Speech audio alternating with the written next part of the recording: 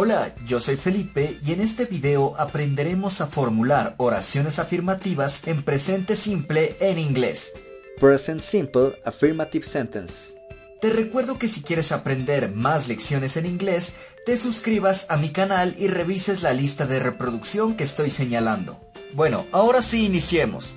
La estructura del presente simple en inglés para las oraciones afirmativas es subject plus infinite verb plus complement. Es decir, el sujeto más el verbo en infinitivo más el complemento. Aquí es importante hacer una aclaración.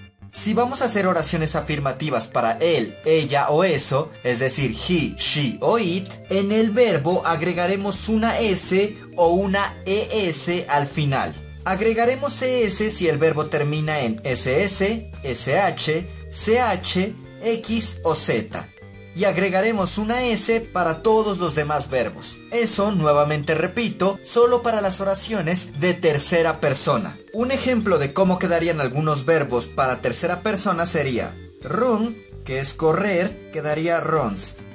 Porque termina en N. Recuerden, miss, que es extrañar, sería misses. Agrego ES porque termina en doble S. Y un último ejemplo sería fix, que significa reparar, y agregaríamos ES, perdón, ES, fixes, reparar, porque termina en X. Ahora sí, realicemos algunos ejemplos para que el tema sea mucho más claro. La primera oración podría ser yo leo muchos libros. Esta oración se formularía I read many books. Como esta oración no incluye tercera persona, no agrego la S. Sujeto, verbo, complemento. I read many books. Yo leo muchos libros. Otro ejemplo. Tú pagas la factura.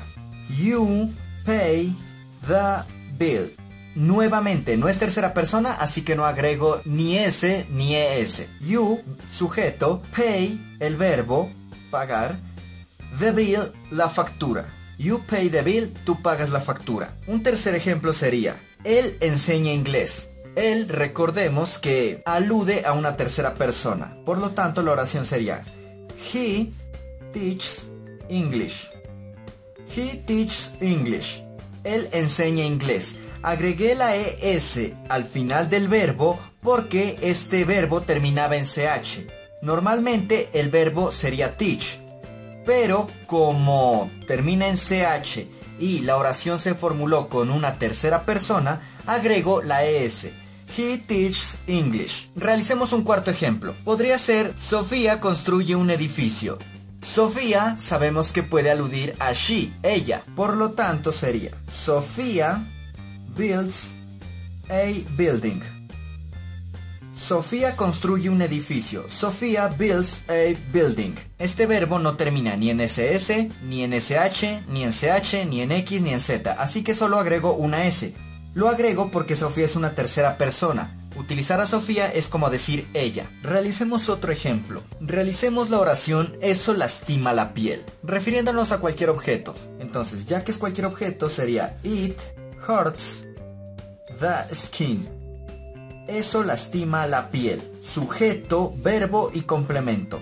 Como es tercera persona, it, recordemos para estos tres agregamos S o ES, en este caso S porque no termina ni en SS, ni en SH, ni en CH, ni en X, ni en Z. Normalmente el verbo sería hurt. Para el siguiente ejemplo, la oración sería nosotros vendemos nuestro carro. Entonces sería we, el sujeto, sell, que es vender, our car. We sell our car. Nosotros vendemos nuestro carro.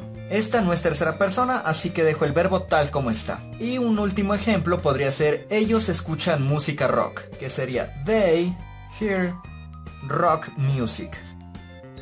Ellos escuchan música rock, sujeto, verbo y complemento, sin ese porque no es ni he, ni she, ni it, no es tercera persona.